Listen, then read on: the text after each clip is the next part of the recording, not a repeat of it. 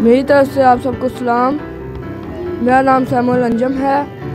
मैं Christmas drama में यूसुफ का रोल अदा कर रहा हूँ।